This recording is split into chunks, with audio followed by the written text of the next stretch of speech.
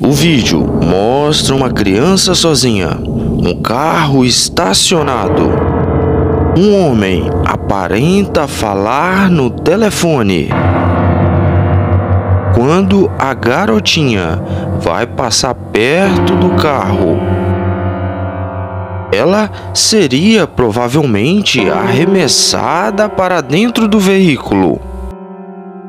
A mulher, atenta e desconfiada, salvou a criança. Mas afinal das contas, esse vídeo é real ou fake? Opa, eu sou Alexandre Soares e esse é o canal Palhaçada 1989. Seja muito bem-vindo por aqui. Já vai deixando aí o seu like nesse vídeo que ajuda bastante. E se você gosta de histórias, notícias e curiosidades, então se inscreva aí.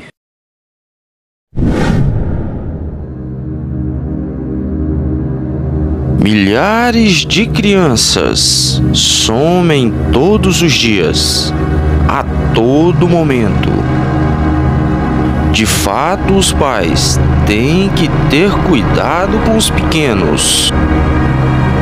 São crianças frágeis que ainda não veem no mundo com a maldade que é devida. Um vídeo de aproximadamente dois minutos circula pela internet. Dizem que o vídeo foi gravado por alguma câmera de segurança do Brasil. O vídeo se espalhou pelas redes sociais. A criança é salva por uma mulher que aparenta ser um atendente do estabelecimento.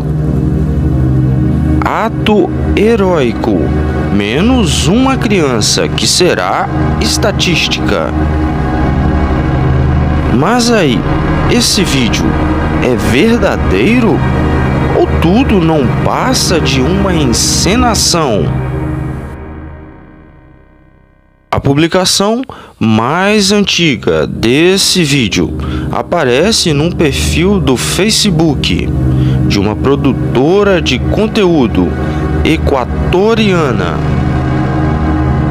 No YouTube, o vídeo já aparece como se tivesse sido gravado em um outro local. Mas note que o local é o mesmo. Gravado apenas com uma câmera de um outro ângulo. Se notar no banner da loja Nota que o vídeo não foi gravado no Brasil, e sim no Equador. Devido à repercussão, a dona do conteúdo, a Renata Chonglong, veio a público se manifestar sobre as imagens que se tornaram viral. A dona do conteúdo disse que o seu vídeo é tudo uma encenação. Mas com o intuito de conscientizar os pais sobre o perigo de deixar uma criança sozinha. Então, o vídeo viral de uma criança quase raptada é fake. Mas e você?